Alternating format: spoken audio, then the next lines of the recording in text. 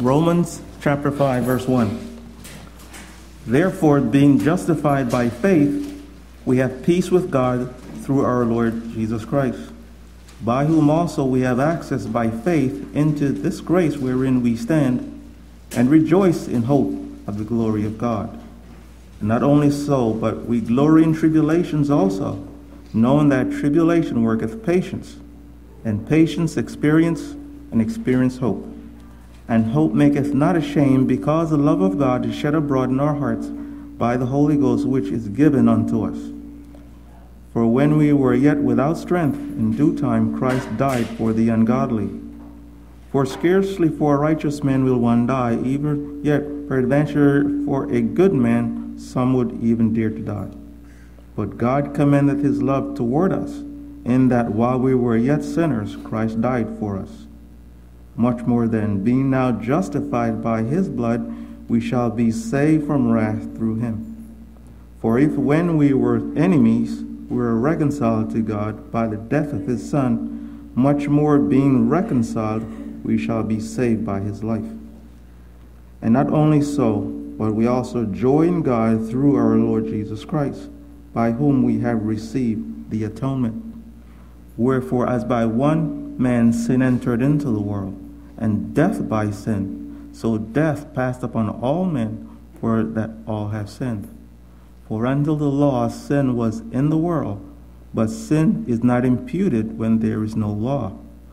Nevertheless, death reigned from Adam to Moses, even over them that had not sinned after the similitude of Adam's transgression, who is a figure of him that was to come. But not as the offense, so also is the free gift. For if through the offense of one many be dead, much more the grace of God and the gift by grace, which is by one one man, Jesus Christ, hath abounded unto many.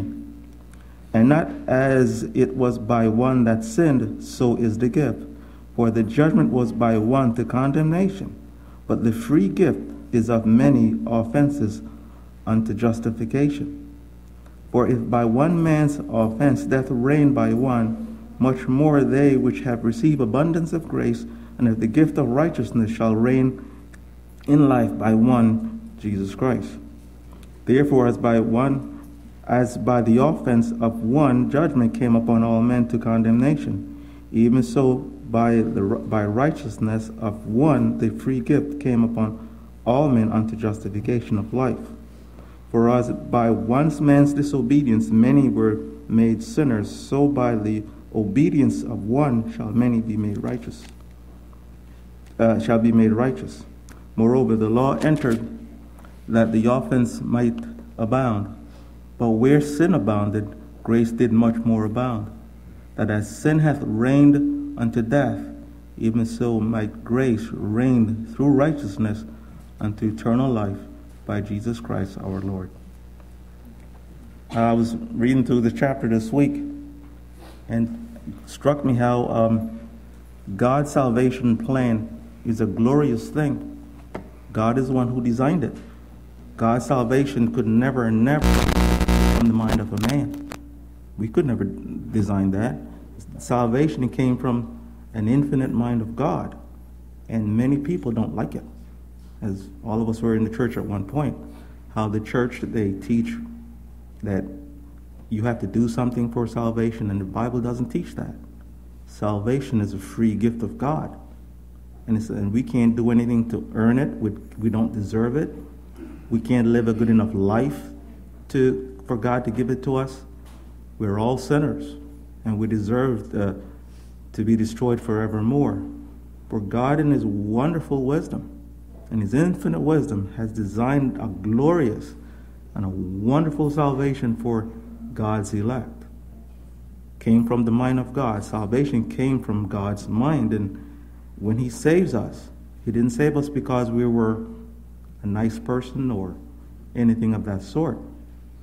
Remember last week I was talking about how God saved us to the praise of His glory. That's it.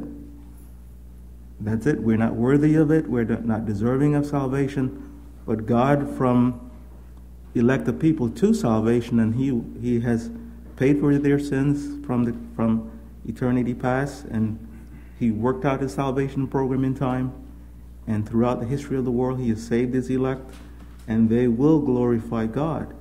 God's salvation is, you know, if for those who God has opened their spiritual eyes to this wonderful salvation, we can't help but to praise and worship God for it. When we see how sinful we are, we're undeserving of it. And for God to give us such a wonderful gift of salvation, it's beyond words can never describe it. You know, and it's, it's a glorious salvation plan. And many people are offended at it. Remember when Christ brought the gospel, as he brought it to the Pharisees of, of that day, how they were offended at it? When Christ began to tell them what the gospel were about, they left. And he finally turned to the disciples and says, Would you also go away? But wonderfully, God, you know, to whom shall we go? They say. Thou hast the words of eternal life. To whom shall we go? To a man? No, we have to go to God, the Bible. If you look at um, Ephesians chapter 1, I part of it last week, but let's read it again. Ephesians chapter 1, I think it's 1. In verse 4, we read Ephesians chapter 1, verse 4. According as he has chosen us in him before the foundation of the world, that we should be holy and without blame before him in love, having predestinated us, God's elect, un, unto adoption of children by Jesus Christ to himself, according to the good pleasure of his will. That's why he saves us, to the good pleasure of his will. He, he, he saves us. And he goes on verse 6, and he says, To what? To the praise of his glory, of his grace, where he made us accepted in the beloved. That's why he saves the people for himself, to the praise of his glory. That's it. We're no more worthy of salvation than anyone else out there in, in the world who cares nothing about the Bible. God save a people to the praise of his glory. That's it. We're not worthy of, of it at all. And if you look at um, Deuteronomy, over to the Old Testament. Deuteronomy chapter, I believe it's 7. Let's start reading in verse 6.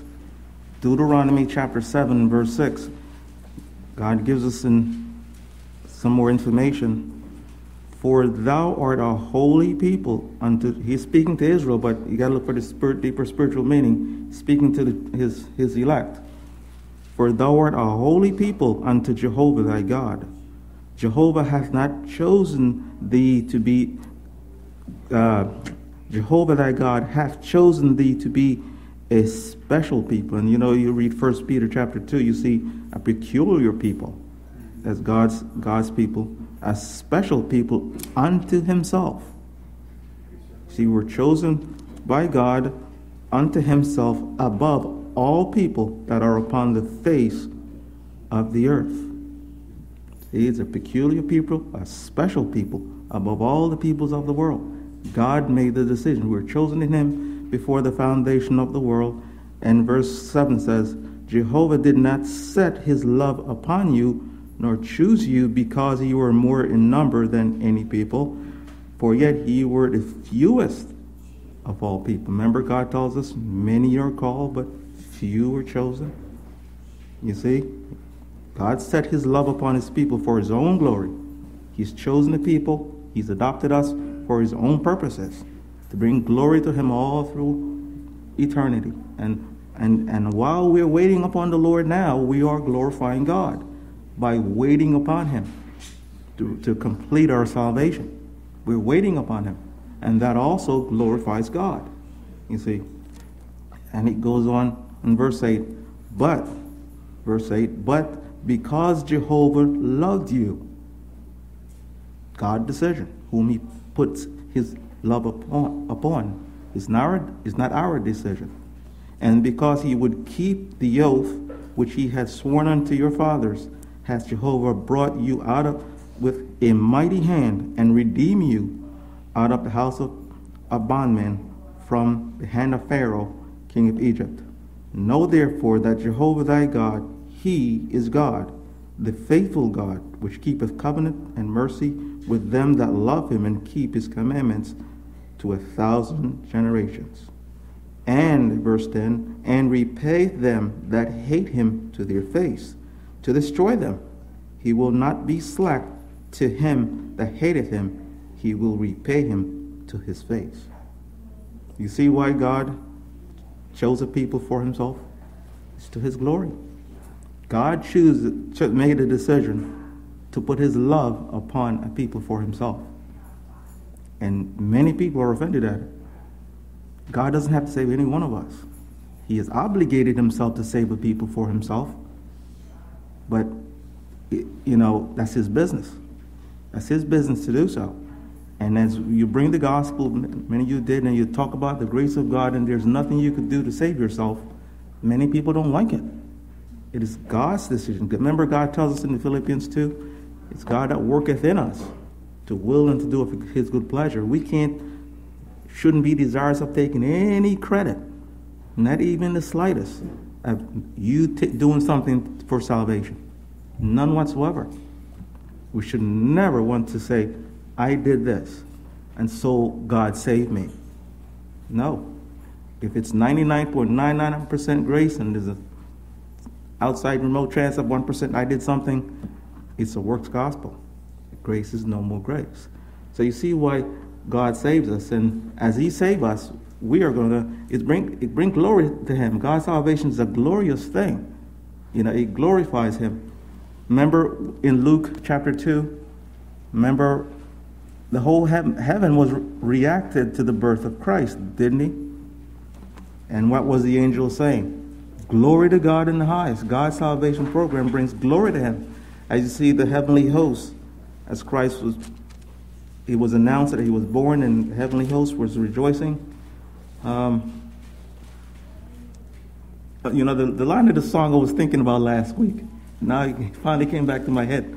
Remember the song says, Men were dumb, so the angels sang," And that the, the, the song that we hear here on family radio, How Shall a King Come? The song says, Men were dumb, so the angels sing. And we see came from the Bible. The angels praising God. You, uh, look at, uh, uh, where was it at? Luke 2. Verse 13. Uh, let's, let's pick up, back up a little bit to verse 9.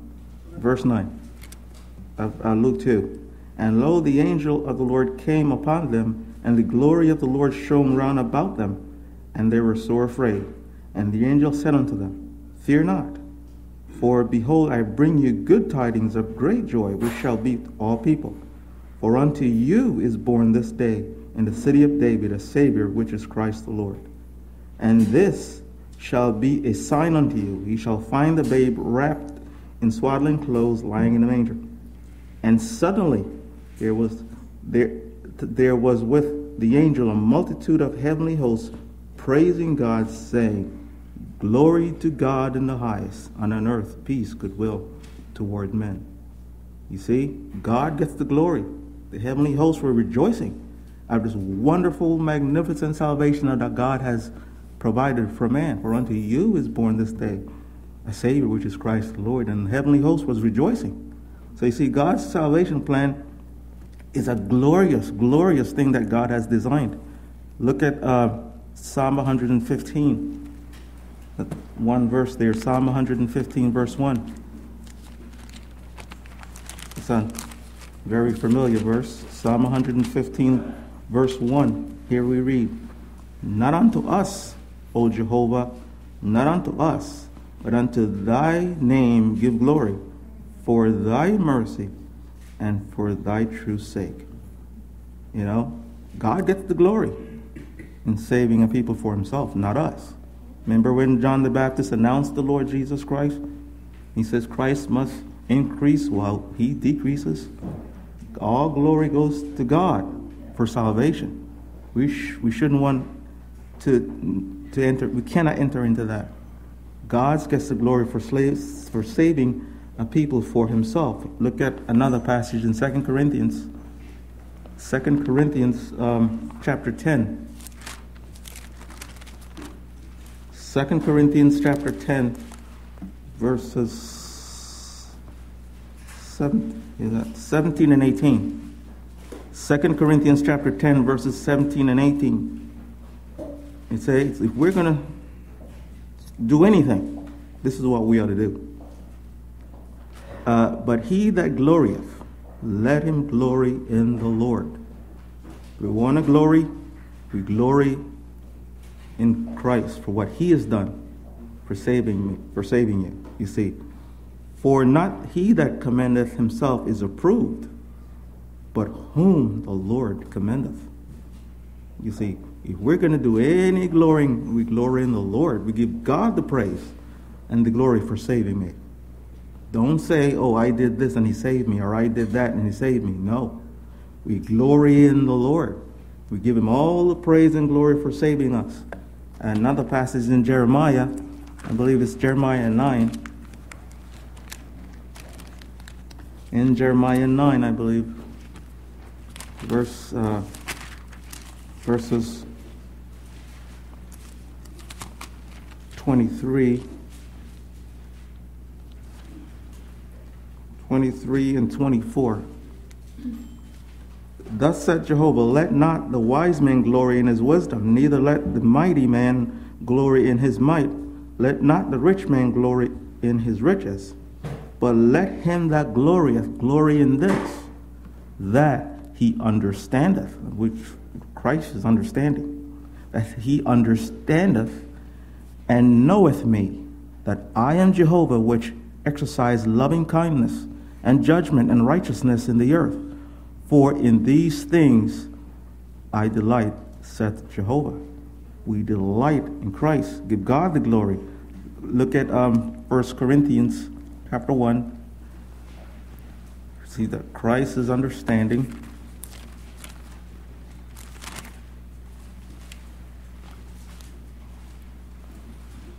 Verse 29. 1 Corinthians chapter 1, verse 29. That no flesh should glory in his presence. But of him are we in Christ Jesus, whom of God is made unto us wisdom and righteousness and sanctification and redemption, that according as it is written, he that glorieth, let him glory in the Lord. And we just read that passage. We're going to glory in our salvation, we give God all the glory for saving us. We shouldn't want to take any credit for anything. We're nothing but dust and ashes.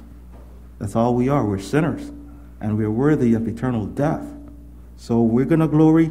We glory. We give, we give God all the glory for saving us because we're undeserved sinners. When we, what, what are we? What are we? What, are, what is our works? The filthy rags, the Bible tell, tell, tells us. So our works will never save us. We glory in salvation, and God deserves all the glory. It's a glorious salvation plan that He has provided for us. So we shouldn't be desirous of any glory whatsoever, because God is the Savior. He is the designer of our salvation. He's the one who wrote the Bible. So we come humbly at His feet, and we sit at His feet and say, Lord, you teach me. You know, that's how we are to come before God. Not with our holy rags wrapped around us, because we, what are we?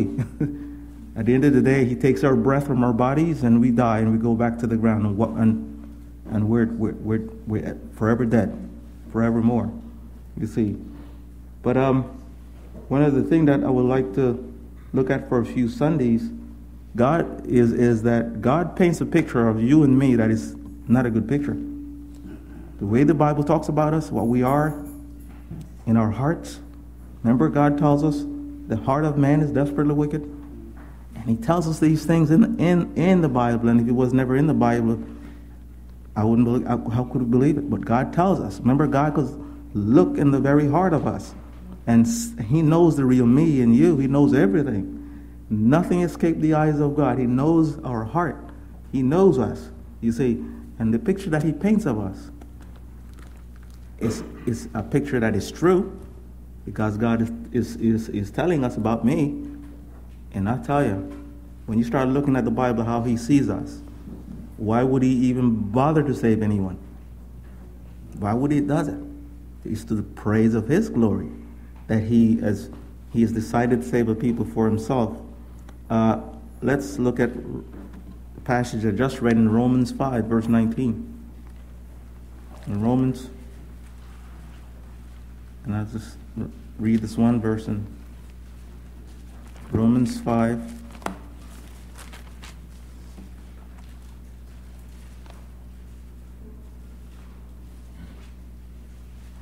Uh, in Romans 5, verse 19, God says, for, for as by one man's disobedience many were made sinners, so by the obedience of one shall many be dead. See what? Be righteous. What Adam and Eve did back in Genesis, it's a terrible thing they did in rebelling against God. It's a horrible thing they did when God gave them the law and told them the day you do, you do this, you will die. It's a terrible thing they did. They, they didn't kill anybody, did they? No. They just simply took a fruit from off a tree. What's the big deal? All they did was uh, took a fruit. Look what God did. Look what God did to them. I mean, He came down on mankind with a hammer. And look, look at us now. It's a terrible thing they did. See, sin is terrible is sin, we shouldn't take sin lightly, whether it's a little sin or a big sin. Disobedience to God's law is a terrible thing. Terrible thing. You know, we're sinners, and if a child take a cookie from a cookie jar, you're not going to cut the child's arm off. You know, it's terrible thing to rebel against God. You know, in any aspect of our life, a tiny white lie, or if a child disobeyed their parent, it's a terrible thing horrible thing that they're doing when, when we rebel against God in, in the slightest of manner. God demands perfection, not our perfection. God's perfection. Could any one of us live up to that type of perfection? No. So when Adam and Eve rebelled against God, it plunged the whole human race into sin. Look at, you know, I often used to, I read that and I'm like, wow, look at what God, He cursed them and sin began. You see, murder showed up and Oh, it's something terrible they did. So we should never take sin lightly, no matter what it is. Remember, God tells He told them in the garden, and when you do this, you will die. Well, then they didn't fall over dead right away. Eventually, they lived to be hundreds of years, and then they died. But God tells us the wages of sin is death. Right there in the Garden of Eden, He started out with, with, with, with, with that. The wages of sin is death. And it hasn't changed. You see, and sin is, you know, the earlier we, we, we learn this in our life as we grow up, it's better off life will be. Get away from sin. Don't monkey with it. Sin destroys. It destroys families, it destroys lives, it destroys everything it is. It looks good, but the end result of sin is death. So now let's stop here and hopefully, Lord willing, I'll share some more verses. Okay, let's pray. Heavenly Father, we thank you, Lord, for this time together of hymn sing and Bible reading and fellowshipping around thy word. O oh, Lord, give us a hatred for sin, O oh, Lord. And by nature we're sinners and we sin brings certain pleasures to us and sin is, is, is leading to our destruction. And, O oh, Lord, we thank you for the grace of God that you have given to thy people, that, O Lord, in thy wisdom, Thou hast decided to save a people for thyself, and they're no different than anyone else.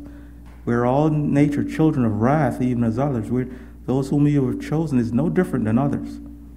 It's only by thy grace and thy mercy, O Lord, thou hast decided to save a people for thyself. And, O Lord, we glorify thee for this wonderful salvation plan that you have provided for us through Christ. And, O Lord, we pray as we, throughout this day, that you will have us to give you all the praise and glory for saving us, and we should not be desirous of any credit of salvation. Lord, I pray for each one of us who are here and those who are listening over the internet that you may bless, O Lord, the reading and the teaching of thy word to our hearts. We ask these things in Jesus' name. Amen.